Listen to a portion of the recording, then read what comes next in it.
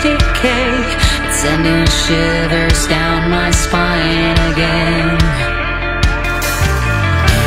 Can't be